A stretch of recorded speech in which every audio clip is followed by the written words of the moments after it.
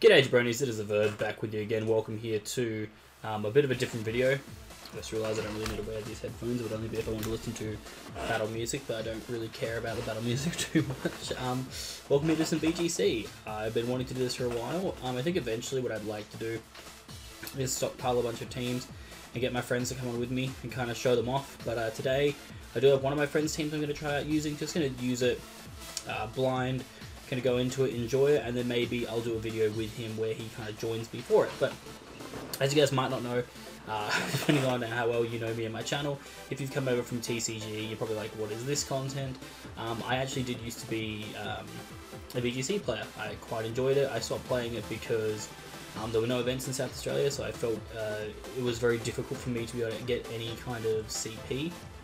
Um, I have to go to all the events around uh, Australia, and I attempted to do that, and it just didn't work out too well for me. So I just had to go to TCG instead. But I always like VGC. Um, I felt like I was pretty good at it. Like at one stage, I actually got selected for the um, World Cup squad of Australia. So I feel like I know my thing when it comes to VGC, and I am trying to bring VGC back to South Australia. So we're gonna use a team here that my boy Curtis, um, aka Scalvin, has sent to me. Curtis has been doing like amazingly well at um, competitions up in Queensland. This is the team that he sent me, so it's a pretty interesting team. Leaving the uh, team ID for you here if you would like to give it a shot. Um, really, really cool uh, concept though. So similar to um, uh, Wolfe Glick's video about the team with Reuniclus, uh, this uses a similar thing, but it uses it with G-Max Hatterene. Um, so Hatterene can use Max Guard with uh, Trick Room, and then the Liepard with Prankster can copycat it, and then because of the eject button, if Liepard gets hit, then it can get the fast Trick Room up, and then automatically swap me out into one of my big threats. And I've got a lot of big threats on this team, for sure. We've got the Lax, who is obviously always going to be an absolute monster. I'm a little bit iffy with the Lax on this team, though, just because uh, I really like it when there's a healing Pokemon next to it. We got Rhyperior, strong as, um, yeah, pretty straightforward move set. Sometimes kind of wish I had Heavy Slam, but at the same time I know Curtis is a great builder, so I trust his team. He's got a really cool conk set, uh, being AV with a Brick Break, so you have a good matchup against the G-Max Lapras.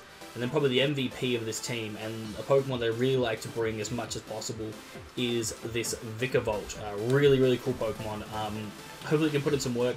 Super underrated, like massive Trick Room threat for sure. Um, but yeah, obviously the, the, main things we want to try and get off is the Hatterene G-Max Smite is ridiculously strong in this metagame. Um, it has definitely clutched a few games for me. So, I'm going to go into ranked battles. I've never done this before as well, so I'm going to have like a really low rating, and it's actually taking me through the tutorial. Good grief. Maybe I should have done some games beforehand so I didn't have to go through the tutorial things, but I kind of wanted to go from like the start to now. So we're literally in beginner tier. I'm not sure, um, nah, people don't need to know this info. Only the people watching this video should know this info. You know, if you're not subscribed, you don't need to know the info. That's all I'm saying. So I'm, pretty keen to give this team a try. I was really enjoying this team for a while. I may go back to this team to show it off to you guys. Um, was smashing a lot of my local competitions. I'm not sure why no other teams. Actually, yeah, there you go. Cool. So we want team one. There it is. Bada bing. Yes, I like to use this team. Um, really, really like this team. Really like Trick Room. Um, in this meta, let's go with the Eternatus 3. I don't really have like a personal favorite theme. I don't know if you guys do. I know there's a lot of VGC people who still watch my content. So just out of curiosity, what is your like ideal um, ideal track that you like listening to when you were battling? But we're going to search for an opposing trainer. Uh, we're going to see how this goes. Um, I honestly don't have a lot of expectations heading into this. I'm quite rusty when it comes to VGC. I know a bit about the game mechanics because while I was in Melbourne for the IC, I was staying with VGC players, so I just sat with them while they were, you know, practicing, and um, we just, you know, worked on how the teams are meant to work. But yeah, searching for a trainer. We got a trainer. All right, dope. Zo Zoagi. Zoagi. Cool. So what you got. Okay, so interesting team. Um, not sure if it's in game. Looks kind of in game. Uh, let's see. So Hatterene looks incredibly strong in this matchup. Um, it just smashes through almost everything my opponent has. Uh, same goes for Rhyperior. Rhyperior is incredibly strong in the back. Um, then I'm just going to make a choice if I want to bring the Vikavolt or Conkeldurr, and I'm feeling Conkeldurr. So I think Liepard Hatterene is for sure the lead. We max guard and we trick room. We go ham. And I think we want to have Rhyperior and Conkeldurr in the back. I don't think Lax is very good here. I don't see myself getting off the combos. There's a Ferrothorn there, so that kind of limits it. And Vikavolt, while it is a good Pokemon, this probably just isn't the matchup for it. I think we're going to show off that combo with the Hatterene here of being able to go for the um, uh, the the the copycat with uh, Liepard. I used this team for a bit in South Australia and just some competitions, and it was smashing people. So I have no doubt it will do the same here. Ooh, he's got shinies, so maybe he has gem this team. But we are going to lead with a Liepard and Hatterene, feeling pretty confident about this setup. I'm so confident, in fact, that I don't actually think I need to. Um, I don't think I need the Trick Room super badly here. I think what I can actually do is... Well, actually, okay, so the, the tricky part with the Trick Room is that Ferrothorn could be slower, and that could then be an issue. So what I want to do is, with a Liepard, I'm actually going to charm the Ferrothorn, and then we are going to Dynamax and Max Flare. I'm not actually sure if Max Flare knocks out Ferrothorn. So, yeah. We're going to do this. Now, I just remember that Espeon has Magic Bounce, but I believe Magic Bounce only works if it targets the Espeon. So if I'm targeting the um, Ferrothorn, we should be fine. So we definitely want the G-Max Hatterene here. We are going to go for that Max Flare and hopefully pick up this Ferrothorn, but just in case, that's why I went for the Charm to be able to prevent the Ferrothorn from getting knockdown on us. As uh, we do get the Charm off, perfect, so the Ferrothorn's attack is lowered by two stages, so we shouldn't be getting knocked out anytime soon. What is the Espeon going for here? Just a Dazzling Gleam. Uh, that will not knock out my Liepard. That's uh, fantastic for us. That does proc the eject button, which is fine by me, and I should just go out, I think, to uh, Rhyperior here. And I think Conkeldurr is super strong when there is a... Um, when there's a Espeon staring you down. So I'm going to go into Rhyperior. I think Rhyperior is a fine choice here. No real dramas, and then we are going to go for that Max Flare. Try and pick up this Ferrothorn right now. If it doesn't have the Occa Berry, I think it should just die, and there we go. So Ferrothorn does go down. That is fantastic for us. Definitely the biggest threat to Hatterene that my opponent had on their team. Um, and whatever comes in next, I think we are well positioned to stop. I'm feeling like a max smite into Espeon could be the play. I just got to think about, you know, what my opponent's going to bring out. If they bring out Gigalith, then I'm probably just going to target down the Espeon. So we see a Sawk come out. Now, Sawk can have Sturdy. So what I am contemplating doing here is going for a Rock Slide into both targets. And then going for a G-Max Smite into the Sawk. Because Sawk has Sturdy, right? But I don't know if this Sawk is going to have Sturdy. I don't think I saw Mold Breaker.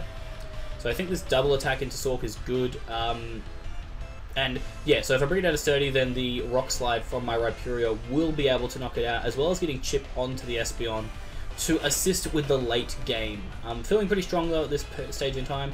Our opponent is going to Dynamax. The question is, who are they going to Dynamax? Is it going to be the Espeon or the Sawk? I think it'll be the Sawk, but we'll see. It is the Sawk. Okay, so we do kind of make the correct play, I think, here with Hatterene of going for the G-Max Smite into it. I'm not sure what the Espeon is going to attack with right now. I guess we're about to find out. Uh, the Espeon goes for another Dazzling Gleam.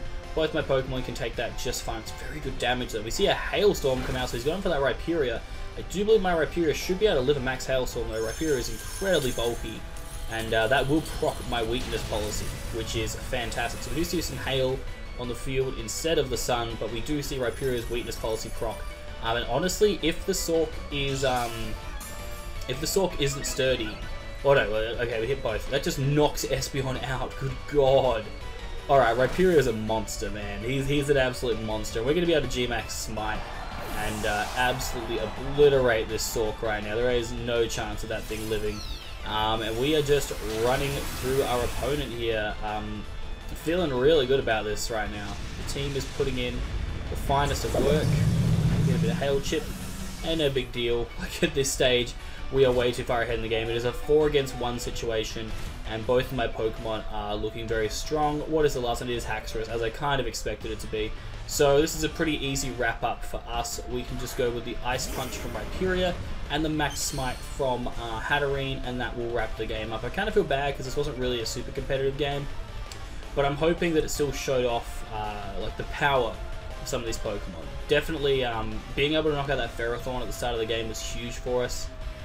Um, and you know, Rhyperior showed off its bulk. So we do see an Iron Tail, but we are the Babiri Berry, so we are going to be able to take this quite easily. No dramas for us there. And we are going to pick up a nice 4-0 victory for our first game today. Um, and it is going to be the Rhyperior with the plus 2 Ice Punch that should just one-shot this Haxorus with ease. the Haxorus was Focus Sash. Well, our opponent is being lovely for us and letting us finish him with another G-Max Smite. Smiting down upon our opponents. Good grief. Okay. So there we go.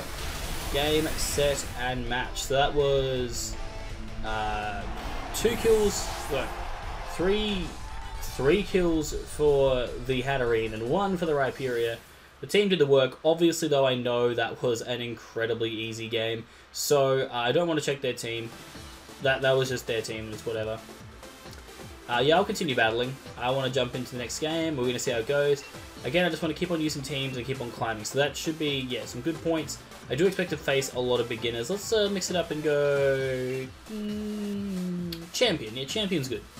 Champion's a great team. So I expect to win most of the games down here. Um, a lot of my plays should be incredibly straightforward against this competition, but I do like the premise of going straight from the bottom of beginner all the way up to Master Ball rank. That would be pretty cool.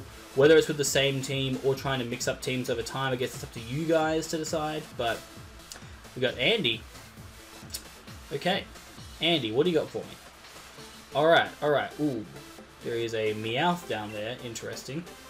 He chose his team very quickly. I'm not sure what to expect from it. Um, I do just really like Liepard Hatterene again. I think they are incredibly strong as a pair in this uh, matchup. Um, I don't think there's a whole lot my opponent has for Hatterene under Trick Room. Is there anything that would outslow Hatterene? I don't think so, so that's really strong for us in that regard. Rhyperior in the back seems incredibly strong. I like Vikavolt, but it is a little bit weak against Kommo-o and the Toxtricity, so I may have to go with Conkeldurr instead. There's Lucario and Kommo-o, so I'm a little bit worried about bringing Lax. So I think it is going to be the Rhyperior and the Conkeldurr in the back because uh, both of which can take some good hits and can deal some very good damage for me.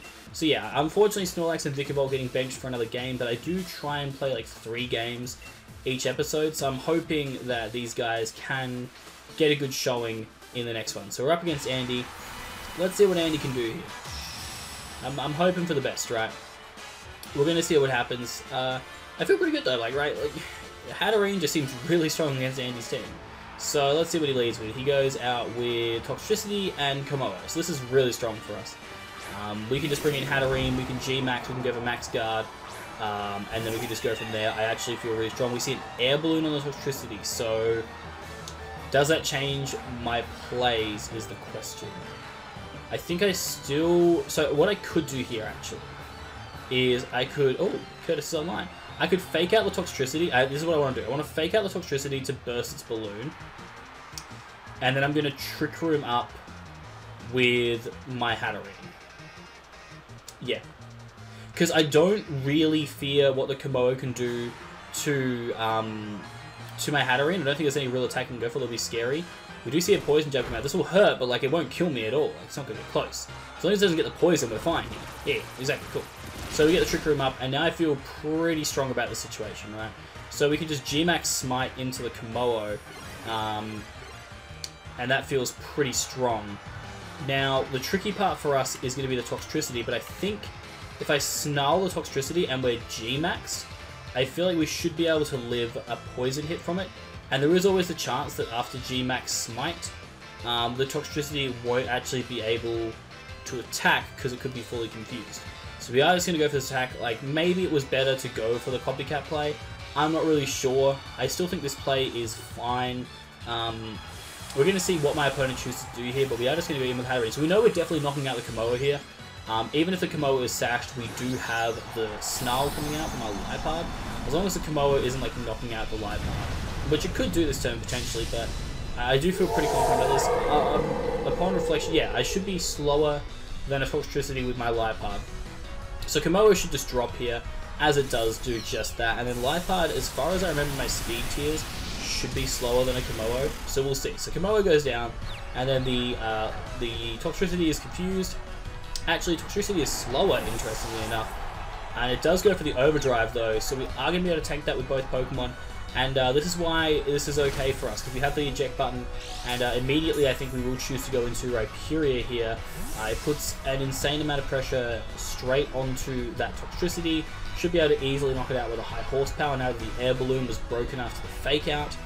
Um, and now we're just going to see what my opponent wants to send in, and whether I can just knock it straight out with my Hatterene. I do feel pretty confident here.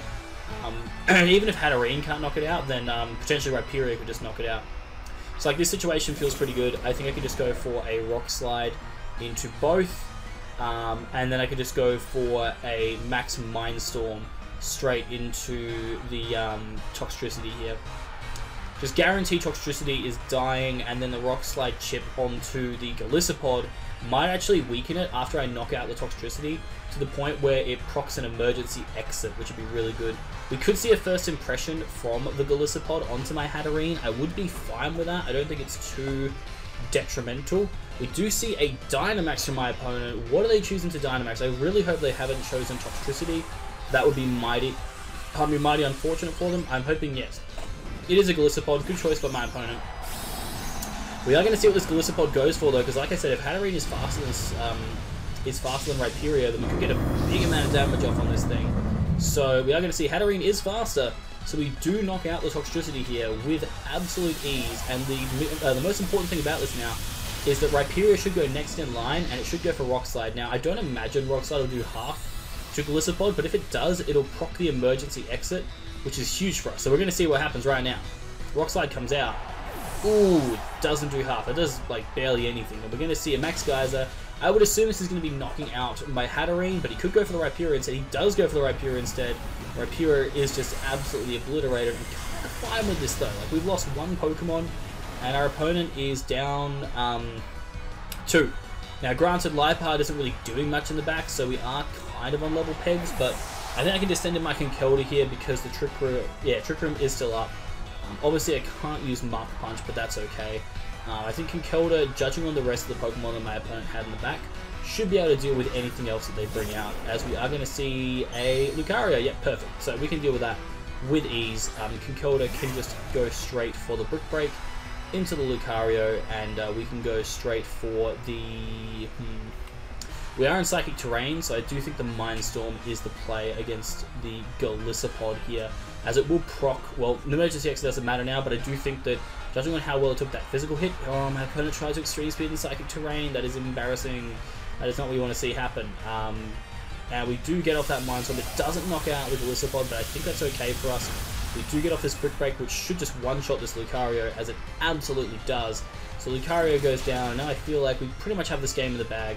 Even if we are knocked out by a Max Geyser here from this Golisopod on our Hatterene, I do feel fairly confident. We actually see it go into the Conkeldurr, and Conkeldurr survives. So that should just wrap up the game. I do believe there is a turn of Trick Room remaining. Uh, Hatterene will go back down to normal, which is no issue at all. Um, and we should have one more turn of Trick Room to kind of punish this uh. Unfortunately, Conkeldurr doesn't really have a strong attack that it can use against Golisopod right now, but my Hatterene can just go for Psychic. The thing I'm just going to watch out for is um, uh, what I want to just quickly go back to is how many turns of Trick Room we have. Oh god wrong thing. Info, Conkeldurr. Uh, so this is the last turn of Trick Room. So my opponent could max guard, but I feel like they don't have it. So I'm just going to go for a Brick Break on the Golisopod, um, as well as a Psychic, because I just feel like I'm going to be able to uh, knock the Golisopod out. So let's just choose a Psychic here. And uh, that should just wrap up the game. If they have max guard, oh, they just forfeited, so there you go. Um, yep, they just didn't want to see their Golisopod die, but we do wrap up another victory. Um, if they hadn't, well, it didn't really matter about the Extreme Swift Lucario, it was going to get knocked out regardless. Um, the early game was a little bit dicey by me, maybe. Like, I, I probably should have just played it safe, and I should have gone for the copycat play instead of letting my Hatterene get weakened, because if my Hatterene wasn't weakened by the poison jab from Kommo-o, I think I would have just wrapped up the game a lot quicker and easier. There wasn't a whole lot my opponent had to uh, beat that. So yeah, I think I should have gone for the copycat play for sure. Um, I don't know. I think so at least. We're up into beginner tier 2. Nice. So, ooh. Huh, got some BP. Nice. Uh, so we're going to go into one more game. We're going to choose In the Fog. Nah. Zacian Zamazenta. Sure. Sure. Let's go with Zacian Zamazenta for the last one uh, for your listening ears. Um, I know these games haven't really been ideal. Don't get me wrong. I, I know they definitely could be better, but uh, I'm still pretty stoked with how it's turned out. Um, and I guess I'm just looking forward to this series. I've got a lot of cool teams to try out. If you guys have any cool teams you'd like to see me use, then obviously you can hit me up on Twitter. You can um, hit me up on Discord or just in the um, yeah on in the video description. Just well, not description, comments. God in the comments, just let me know. Um, if you would like me to use a certain team, I'm down for trying anything. Um, I think that, you know, we're in a pretty good format right now for VGC. I think there's a lot of cool Pokemon that can be used and used quite well. Um, I do like that as a bit of a change of pace from the TCG where um, when Zacian V was kind of released, it was the most broken card in the format. So this is a good change of pace for me. I'm liking it. I'm liking it as well. We got uh, Mixie, rank 1. So we win this and we should almost be out of the boonies. This is a very competitive team. I like this a lot. So this is what I want to see. Uh, they got a lot of things that can threaten my Hatterene. Um, I think though if I led Hatterene Conkeldurr, I wouldn't be as concerned. I think Hatterene Conkeldurr is very strong against my opponent's team, not Vikavolt. I think Hatterene Conkeldurr is really strong against my opponent's team. I do like Rhyperior in the back too. Seems incredibly strong. Um, do I want Liepard is the question. Probably not. I don't see it being super impactful. Um, I could bring the Vikavolt, but again, I don't see that being super good either. I Actually, kind of like the Snorlax's matchup. I don't think Liepard is needed. I don't think Vikavolt is going to have a good matchup here. I'm, I'm a bit sad that Vikavolt didn't get a good matchup at all in these games, but I do just feel like Conkeldurr Hatterene is such a strong lead against anything my opponent could use. So we're going to find out though. So Mixie versus your boy, and we're going to see how this one goes down. I feel pretty good heading into this one, I'm not going to lie to you. I think the matchup uh, of Hatterene and Conkeldurr against anything he leads with is just good. so like Lapras Dragapult, this feels fine. Um, we just lead Hatterene Conk. and um, honestly, I think uh, I don't even need a Trick Room. I think all I want to do here is go for a Gmax Smite into the Dragapult. And then I expect him to go with a Max Resonance from his Lapras. So I'm going to immediately go for a Brick Break. So he's probably going to go with the Lapras and set that thing up. And I'm going to try and catch him out with that. The Hatterene being boosted should be able to easily tank whatever the Dragapult wants to go for here. If the Dragapult Phantom Forces, then it's a little bit unfortunate for me, but it's no big deal. It's no big deal at all. I think being able to... We should be able to tank both things. We'll see. Depends on my opponent chooses to go for, obviously. Um, we do see the Phantom Force, so I do kind of waste a turn here with the Max, uh, G-Max Smite, which is really unfortunate. We do see a Surf from Lapras. Uh, interesting choice by my opponent. Uh, both my Pokemon can take that quite easily without any issues, and we are going to see a Brick Break from Conk, which should do about half to a Lapras. Ooh, that does a lot more than half. So we're in a pretty good spot now. Gmax Smite, unfortunately, is going to miss the Dragapult. But now we're in a position where we can Gmax Smite into the Dragapult again, and we can freely just fire off a Mach Punch into the Lapras. If the Lapras wants to swap out, it's no big deal. It is very weak and it can be picked off later, and we should be able to live the Phantom Force, and then we'll knock out both of their opening Pokemon. We do see a withdrawal. What are they going to choose to go out to? Toxtricity. This is kind of fine because we get the chip on Toxtricity, which I'm kind of cool with. So we can fire off a Mach Punch here, which I'm pretty fine with. We get a bit of chip on that thing. No big deal. We do see the Phantom Force come out into Hatterene. Ouch, that does hurt a bit. But at the same time, we can now go for that G-Max Smite and uh, pick up the Dragapult, unless of course it's Sash, which would be surprising. And it is Sash, so there you go. It is surprising. How about that, guys? Sash Dragapult. How about that? However, that does mean we get confusion on both of them, which is fantastic as well for us. Um, we do see healing from Toxtricity, a Black Sludge. So I think my play this turn is to... Um, I think it's to max Mindstorm the Toxtricity Rat. Because if the Dragapult disappears with Phantom Force, there's a chance it could just confuse itself and die. And I think I want to Bulldoze, because even if the Dragapult doesn't go for that, then Bulldoze should be able to pick up both they double target down my Hatterene. So I think this is the safe play. So we are going to see a Dynamax, it looks like, on the Toxtricity. Now, the Poison move could knock out my, um, I think from here, but I do feel really confident that this is Toxtricity. So it is Toxtricity. I feel really good about this. Um, Lapras is in the back, we know that. And if either of these hit themselves in Confusion, this is a phenomenal turn for us. So we're going to see what happens. Uh, we have two things of Confusion to go through here. First, Dragapult's. Uh, it does get the Phantom Force off. Okay, so Dragapult's not the issue. If Toxtricity hits itself in Confusion here, then I'm feeling amazing about this turn. So let's see what happens. Does Toxtricity hit itself in Confusion? It doesn't. So we get the Max Ooze off. This is a little bit weakened though, so maybe Hatterene can live. We are a bit bulky. We do not live, unfortunately. I don't know if that was a crit. I severely doubt it was a crit. But we do now get off a full powered, well I say full powered, it is slightly weakened Bulldoze off though on this Toxtricity. And the best plus for us is that we're going to send in Rhyperior next, and then that just obliterates both of these things. Dragapult avoids, but we do get a fat Bulldoze off against this Toxtricity. Just a really good chunk of damage there, which I'm super stoked about. So we can Bulldoze again and basically knock out Toxtricity if we need to.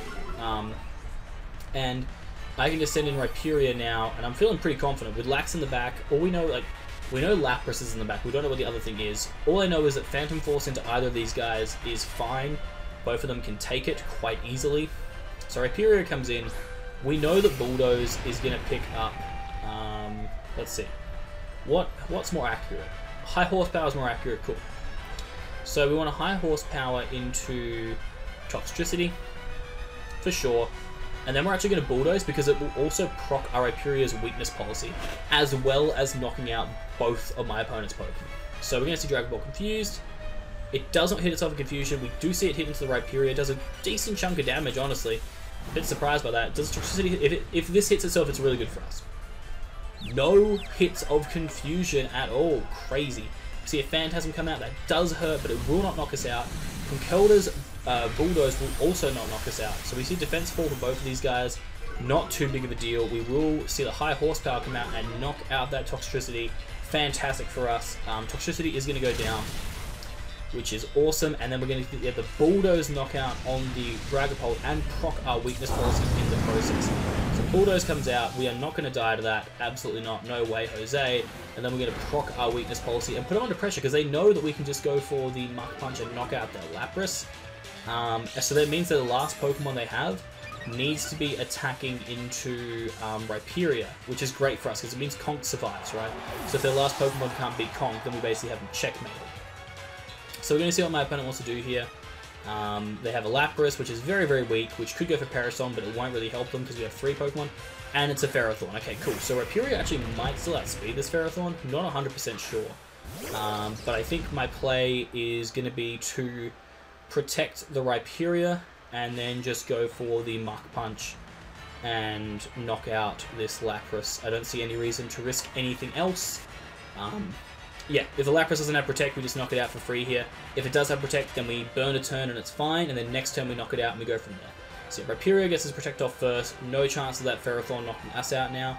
We can just go straight for that Mach Punch to pick up the Lapras and get that knockout, and I think the Ferrothorn would have targeted down the Rhyperior on this turn. We are going to find out, though, as we do see an Energy Ball.